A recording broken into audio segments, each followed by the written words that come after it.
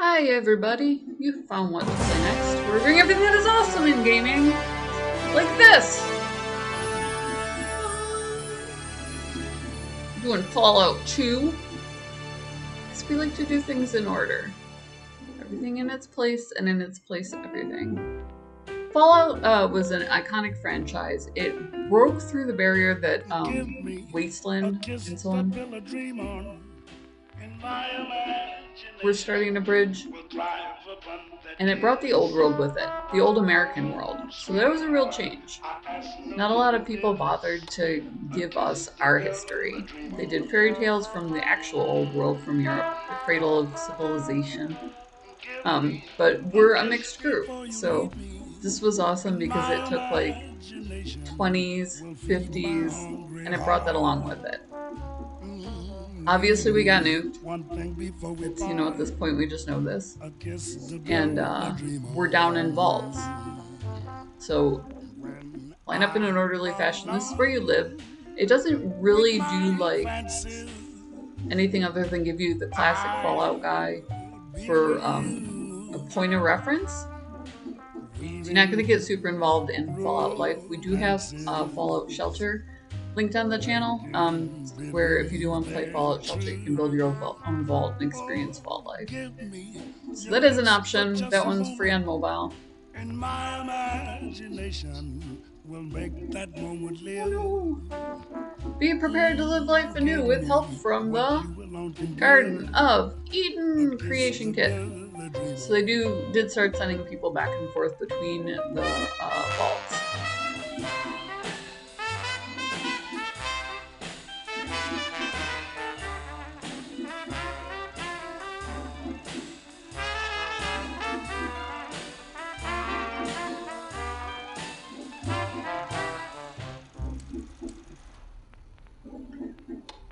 Rock and roll, yo! We want to go a traveling. Uncle Samuel wants us. Samuel. Samuel. Get hip to the lingo, go exploring. Let's do it. A lot of this is really classic for those of you who skipped the first few. Obviously, you still know. Fallout Boy, your Pit Boy, etc. We did download um, Fallout London, so we should get into that shortly. Our version of shortly do still run on uh, working time. I haven't managed to break the mold just yet.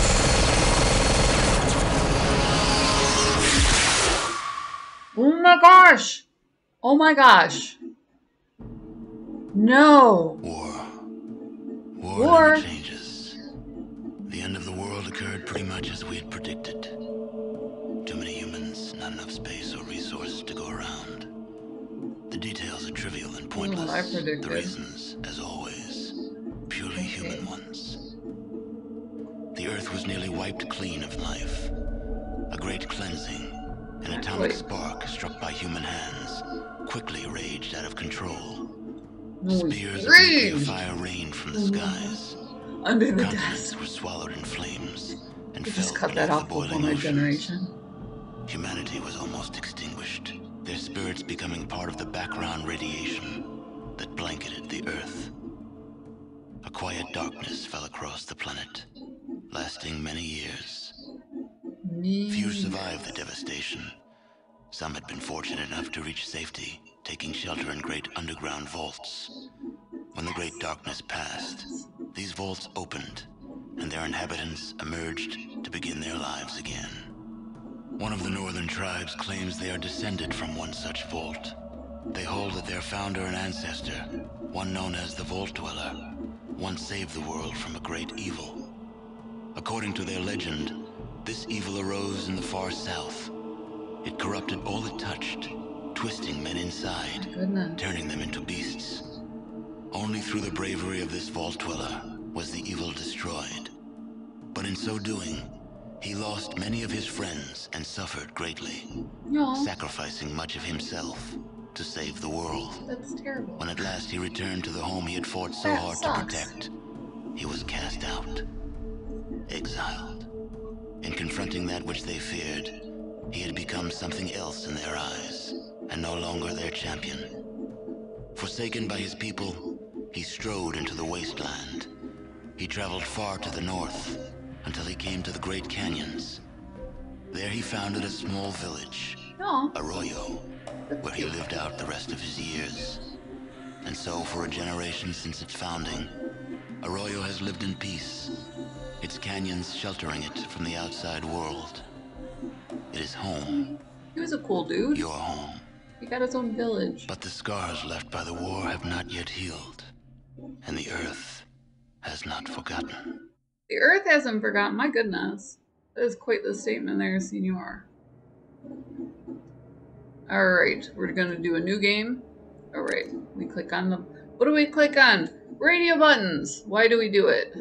Alright, Narg's story. Exceptional physique, best hunters in the tribe.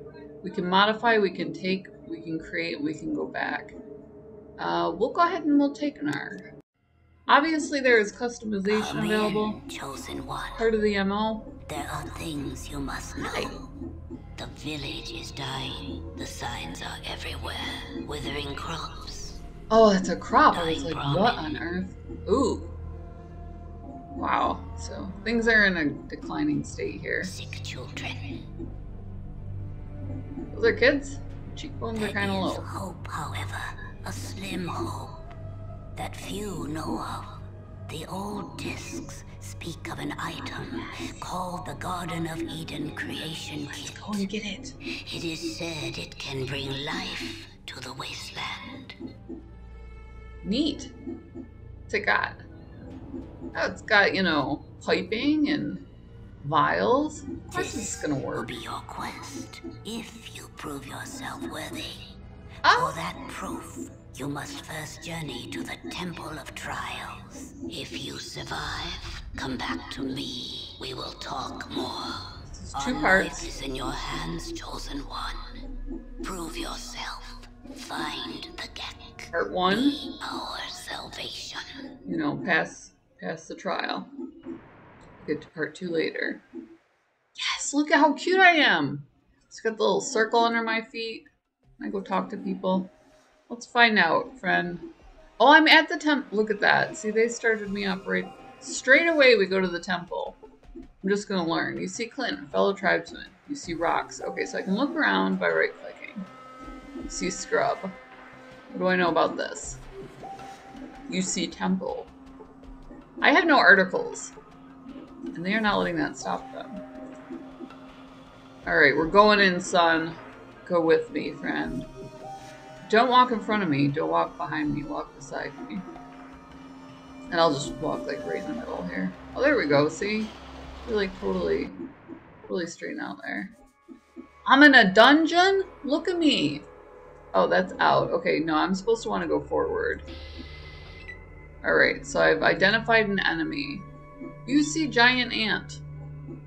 How do I fight giant ant? It Seems important. Strong kick. Just click a button. What do we do with radio buttons? We click them. Click them like it's okay. Click. Target out of range. You want me to get closer to this thing? We're gonna kick it. Kick it. Do it up! Make mama proud. Want it? Yeah, boy! Obviously, we kick its head, which is like 10 feet above its body. As we're throwing it off, I need four action points. We fall back a little. That seems like a good idea. I will literally just turn my ba- back to it and then run out of action points. Let's do that. Will it know I'm here? Nobody knows. I'm gonna end our turn. Obviously, this is turn based. Obviously, they have a strong sense of smell. Ironically, uh, ants really do have a strong sense of smell. They, um, uses four action points. Giant ant was hit for 12 points and killed. Look at me go. My goodness, girl. So that that other one is gonna hit my radar in a minute. Where are you? Did I go around it? Am I that talented? Not just gonna open for me, huh? Alright. Let's go, buddy. I'm feeling confident now. Cocky even. Hit for six points. So yeah, traditionally this would pop up on a little um, side box in the triptych. But uh, it expanded outward and we were able to, you know, just kind of make it all one thing. For slaying your opponents, you earn 25 experience points. Sir, what is this? You see a door. I placing my hand on it, it knows that I'm chosen one. It knows. You you should know too. Like, we all know this. Thank you! My goodness. I don't think it gives you a lot in the way of objects. Oh, neat. That is a really good way to do uh, a dungeon. I wanted to check this out for things like that. Oh, God, this scorpion. Tell you what. Um, do I want to hit it for one kick? It is, you know, that's going to be a pretty strong opponent. Target is not out of... Sir? Tell you... Tell you sincerely. Kabam! Hit for nine points. And then nothing. Only this and nothing more. Um, but as far as building, great way to use walls and uh, movement. Good turn-based combat. So off the drop, it owned that. We'll just close. Just do it. Ow! Ooh, oh, and I got poisoned. Okay. Well, I die in every game. We haven't done that yet this session. Obviously, we're gonna get in there and try. Anything. Scratch my head. Incense burner. So I'm allowed to identify objects, but it doesn't look like um, we're gonna use a standard D&D style loot system here. So we are going to grind our way through this. Link in the description below. Also down there is Gamer Grind. Gamer Coffee shipped to your door. They'll put your logo on merch for like nothing bucks. Um, you can get great Gamer Coffee there for a little extra kick in, in your morning. Um, what else do we have going on? Oh, if I double click, I run. Look at that. I knew that. Door appears to be locked. Alrighty then. Just run around. This is hilarious.